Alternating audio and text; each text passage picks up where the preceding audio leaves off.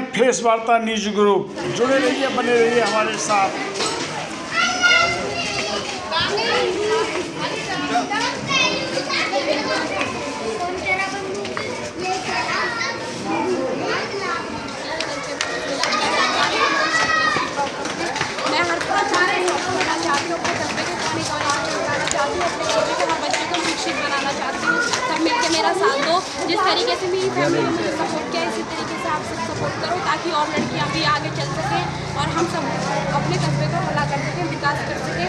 आप सबकी ज़रूरत है। जिस तरीके से आप हमें प्यार हो इसी तरीके से भारी वोटों से मेरी मम्मी को विजेता बना के कस्बे में लाइए और अपने कस्बे का विकास कराइए। नमस्कार दोस्तों, इस समय हम खड़े हैं कस्बा बिलासपुर में जो कि जिला गौतम बुद्ध नगर में आता है। जैसे जैसे ही चुनावी दिन नज़दीक आता जा रहा है, सरगर्मियाँ तेज होती जा रही हैं। आज हम मिलते हैं एक निर्दलीय प्रत्याशी हैं, फरीद कुरैशी जी। उनकी घरवाली शबाना कुरैशी चुनाव लड़ रही हैं। मज़े की सबसे बड़ी बात यह है कि उनके साथ उनकी बेटी चुनाव में जो है जाकर जाकर जनसंपर्क कर रही हैं। हम जो है सबसे पहले सवाना कुरैशी से बात करेंगे, उसके बाद उनकी बेटी से बात करेंगे। मैडम, हम आप जो घरों में जा रही हैं, लोगों से संपर्क कर रही हैं क्या ऐसा विशेष मुद्दा है शहर का, इस कस्बे का, जो अभी तक पूरा हो? क्या रही हैं जी देखो, सबसे पहले तो मैं ये चाहती हूँ कि गरीब बच्ची हैं बैठी हैं, सबके घर में सियानी बच्ची हैं। उनकी शादी ब्याह होनी चाहिए। फिर सड़कें टूटी फूटी पड़ी हैं लाइट की सुविधा होनी चाहिए, पानी की सुविधा होनी चाहिए। देखो, हमारे बिलासपुर में टंकी बन गई है, चालू आज तक किसी ने नहीं कराई। अब देखो, जी मैं ये चाहती हूँ कि क्या नाम है, गरीब बच्चे पढ़ने चाहिए। स्कूल हैं, उनमें पढ़ाई नहीं है। सरकारी अस्पताल है तो उनमें इलाज सही से नहीं हो पा रहा है। मैं यही चाहती हूँ, यहाँ पे लाइट की बहुत बड़ी समस्या है जी, यहाँ पे लाइट बहुत परेशान करती है। देखो बेटी हम आपसे बात करेंगे आप पढ़ी लिखी हैं युवा हैं। और आज के ज़माने में पढ़ा लिखा होना हर समाज हर समाज के लिए बहुत ज़रूरी है। आप अपनी मम्मी का साथ देने रही हैं मुझे बहुत अच्छा लगा। ऐसी बहुत ही कम बच्चे मिलते हैं जो लड़के तो अक्सर देखने को मिल जाते होंगे कि पिताजी के साथ माता लेकिन हमारी पहली बेटी है हमको देखने को मिल रही है बड़ी खुशी हुई मेरी तरफ़ से।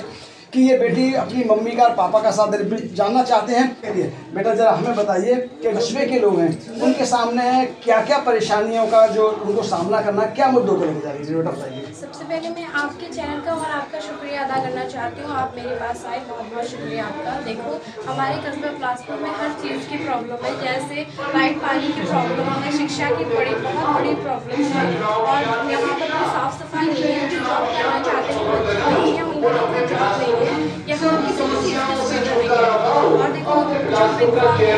है। कुछ भी किसी भी चीज़ की कोई व्यवस्था नहीं है।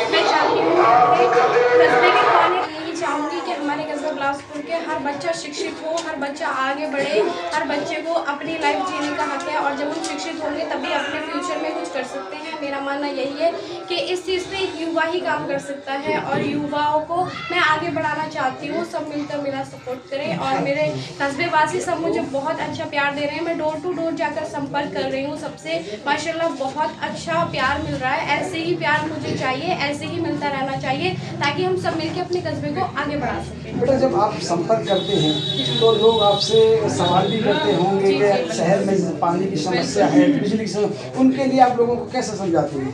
मैं यही बोलती हूँ कि मेरे मेरे कस्बा बिलासपुर में बहुत बड़ी प्रॉब्लम है पानी की और मैं पानी की पानी की व्यवस्था करूँगी हर घर तक पानी पहुँचाऊँगी टंकी के ज़रिए। टंकी को मैं चालू करवाऊँगी और टंकी में टंकी से टंकी के ही ज़रिए हर घर में पानी जाएगा। आपका कहने का मतलब यदि आपकी मम्मी चेयरमैन बनती है तो सबसे पहले जो सबसे वर्षों से पानी की जो टंकी की समस्या है उसका समाधान कराने की पूरी कोशिश करेंगे।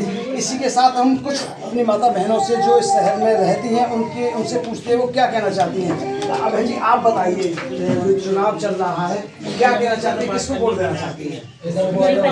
क्यों उनको वोट देना चाहती हैं। जी वो बहुत सबको मानते हैं करते हैं सबका दिल रखते हैं गरीबों के साथ हैं। अच्छा इसके बाद में आप आप कुछ कहना चाहती हैं? बोलिए किसको वोट देंगे आप? बोल बोलिए। क्यों देंगे फरीद भाई को? भले अच्छे हैं। अच्छे हैं पर कन्फर्म है इसके साथ साथ आप भैया आप आओ जरा आपसे अच्छी भीड़ मुझे दिख रही है। सबसे बड़ी खुशी है कि मैं देखने को पहली बार मेरे अनुभव में मिल रहा है कि एक बेटी अपने मम्मी पापा का साथ दे रही है उनको आगे बढ़ाने के समाज में ऐसा बहुत कम देखने को मिलता है। आप क्या कहना चाहते हैं? फरीद कुरैशी। जो जो बोलना है बेफिक्र बहुत बात है। अच्छा। फरीद कुरैशी की बेटी अपने मम्मी पापा का साथ दे रही है। हाँ। और हम सभी की ही मदद चाहिए। मतलब समाज के लिए एक अच्छा संदेश जा रहा है कि बेटी पढ़ी लिखी होनी चाहिए सबको अपने बच्चे पढ़ाने चाहिए ताकि वो भविष्य में अपने माँ बाप के लिए कंधे से कंधा मिला के साथ दे सकें। और इसके साथ भैया कोई और बोला आप बेटा आप छोटी हैं। आप बोल आप बोलिए आप कुछ कहना चाहते हैं? बोलिए बेफिक्र होकर बोलिए।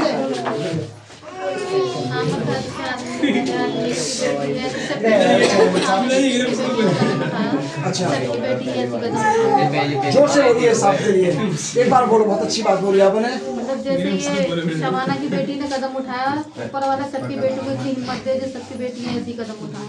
अच्छी बात है। देखा आपने जब एक समाज में बेटी पढ़ लिख कर आगे बढ़ती है तो सभी का हौसला बढ़ता है और सब लोग चाहते हैं कि हमारे भी बच्चे पढ़ लिख कर आगे बढ़े। इसलिए हम आपकी धर्मपत्नी चुनाव लड़ रही है। जनसंपर्क हो रहा है क्या अपील करना चाहते हैं शहरवासियों से? आप जरा हूँ। शादी गरीब है और सरकारी योजनाएँ आती हैं। उन्हें गरीब बेटियों को कोई नहीं देता। ठीक है? मैं चाहता हूँ उन्हें वो यो- योजनाएँ मिलनी चाहिए और जिनके मकान हैं उनके गरीबों के मकान बनने चाहिए। पानी की टंकी चालू होनी चाहिए राशन कार्ड बनने चाहिए सभी की पेंशन बननी चाहिए। जैसे रान बेवा है बुज़ुर्ग है साठ साल वाले है ना? चार पेंशन होती है। वो चारों पेंशन होनी चाहिए सभी। तो शहर में भी कुछ लोगों की पेंशन बाकी है या बनी नहीं पाई? बनी नहीं पाई और बाकी भी है जो दुआ रखी है पेंशन किसी को पेंशन ही नहीं मिली। सबसे पहले यदि चेयरमैन बनती है तो बेटी ने कहा कि पानी की समस्या आपका है जो साठ साल ऊपर कर चुके हैं या जो बुढ़वा है या जो बेसहारा लोग हैं उनके है। अच्छा बेटा आप मम्मी का साथ दे रही है बहुत अच्छी बात है। हम लोगों से संपर्क किया उनमें भी मुझे लगता है कि आपकी देखी देखा वो भी अपने बच्चों पर भी कराएँगे लेकिन हमारे दर्शकों के लिए अपने विषय में थोड़ा सा और बताइए आपने कहाँ तक पढ़ाई की है और भविष्य में क्या बनना चाहती है परिवार में? कितने लोग हैं? मैं मैं अपना इंटरव्यू देना चाहती हूँ। मैं कस्बा बिलासपुर से बिलोंग करती हूँ। मेरा नाम सानिया है। सबाना चेयरमैन साहब की और फरीद चेयरमैन साहब की मैं बेटी हूँ। मेरे परिवार में वैसे तो 400 लोगों की फैमिली है बट जो मैं प्रॉपर मेरी फैमिली है उसमें सिर्फ़ हम तीन ही लोग हैं मम्मी पापा और मैं। वैसे बाकी माशाल्लाह से बहुत बड़ी फैमिली है। हमारी 400 लोग हैं। हमारी फैमिली में चार चार चाचू सब हैं। जी और मैंने बीए किया है पढ़ाई में और आगे मैं डॉक्टर बनना हूँ। चाहती हैं। और मैं अपने कस्बे वासियों का फ्री इलाज करना चाहती हूँ। मतलब डॉक्टर बनने के बाद आप कस्बा वासियों का फ्री इलाज करना चाहती हैं। बने रही हमारे साथ। देखिए बेटी ने कितना अच्छा संदेश दिया है। और मुझे उम्मीद है कि इस संदेश से जो समाज के अन्य लोग भी हैं वो भी अपनी बेटियों को पढ़ाएँगे और इसको विशेषकर गंभीरता से लेंगे कि हम सब और क्या कहना चाहती है चाहूँगी जिस तरीके से मेरी फैमिली ने मुझे सपोर्ट किया है ऐसे ही सभी लोग अपने बच्चों को सपोर्ट करो ताकि वो भी फ्यूचर में कुछ कर सकें। और मैं हर बच्चे से कहना चाहूँगी कि अपने अंदर के मन को पहचानो कि हमको हमें क्या करना है और आगे बढ़ो, क्योंकि बेटी भी बहुत कुछ कर सकती है। मैं हर बेटी को ये दिखाना चाहती हूँ कि बेटी भी कुछ होती है और बेटी भी कुछ कर सकती है। सब बेटी पढ़ो, लिखो और आगे बढ़ो, अपने मम्मी पापा का नाम रोशन करो, अपने कस्बे का नाम रोशन करो और सबका भला करो।